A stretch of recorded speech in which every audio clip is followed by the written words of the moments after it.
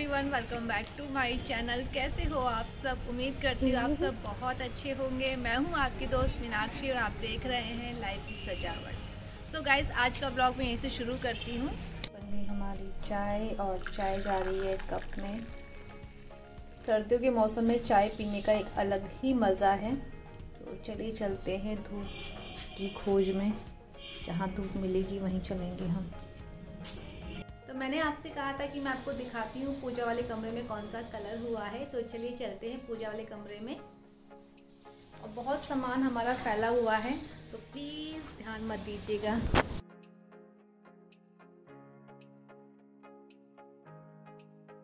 बहुत सारा सामान फैल रखा है, अभी सेट नहीं हुआ है, जैसे कि मैंने बोला है कि वाइट वॉश का काम चल रहा है। तो ये देखिए, ये वाला कलर है जो हमने करवाया है अपने पूजा वाले कमरे में। एक जो दीवार है वो डार्क कलर है, बाकी तीन है वो सिंपल से कलर हैं। तो ये पूरा कैमरा मैंने घुमा दिया है।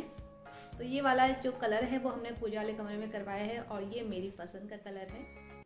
ये है हमारा आँगन जिसमें मस्टर्ड कलर हो रहा है।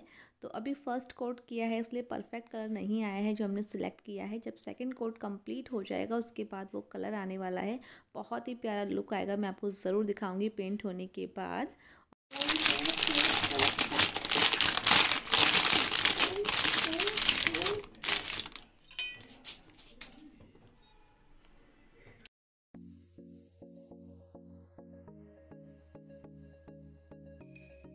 आज मैं ब्रेकफास्ट में बना रही हूँ पाव भाजी तो भाजी मेरी ऑलरेडी बन चुकी है और मैं अब सेक रही हूँ पाव।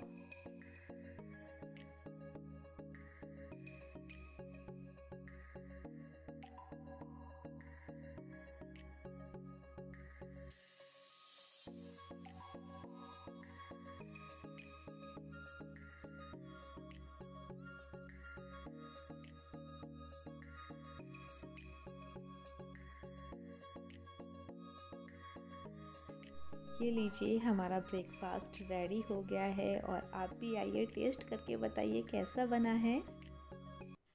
अच्छा तो कुछ टाइम पहले मैंने ये जूती ख़रीदी थी और मैंने आप सभी के साथ नहीं शेयर करा था। तो अभी अच्छा खासा टाइम चल रहा है इसे पहनने का तो मैंने सोचा मैं इसे पहन लेती हूँ और आप सभी के साथ एक छोटी सी क्लिप भी शेयर कर देती हूँ। न्यूड कलर की ये जूती है रबर की ये बनी हुई है। मैंने इसे ऑफ़लाइन ख़रीदा है, अपनी लोकल मार्केट से ही ख़रीदा है और इसका जो प्राइस है वो बहुत ही रिजनेबल है। इसका जो प्राइस है वो है टू हंड्रेड से टू फिफ्टी के दरमियान है। यानी कि मुझे काफ़ी अच्छे खासे प्राइस में ये जूती मिल गई है। न्यूड कलर है, इस तरह का कलर मेरे पास था भी नहीं तो मुझे काफ़ी अच्छा लगा है और इसकी जो हील है वो हाफ़ इंच की है। तो ये आगे से क्लोज़ है और बैक साइड से ये ओपन है। बहुत ही प्यारा इसका लुक आता है पहनने के बाद। तो उम्मीद करती हूँ मेरी तरह आपको मेरी जूती पसंद आई होंगी। और हम शाम को गए थे मार्केट तो मैंने एक पायल ख़रीदी है। एक्चुअली हमारे यहाँ पूजा होने वाली है। उसके लिए मैंने पायल और टोरिंग ख़रीदी है। तो मैंने सोचा मैं आप सबको डिज़ाइन भी दिखा देती हूँ। और इसका प्राइस भी काफ़ी रिजनेबल है। टू थाउज़ेंड के दरमियान ये पायल हैं।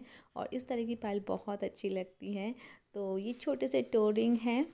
और यहीं पे मैं ब्लॉग का सफ़र ख़त्म करती हूँ। छोटी सी ये जो वीडियो है, उम्मीद करती हूँ आपको पसंद आई होगी। पसंद आई है तो प्लीज़ वीडियो को लाइक कर दीजिएगा। मिलती हूँ एक और नए वीडियो के साथ। Till then bye bye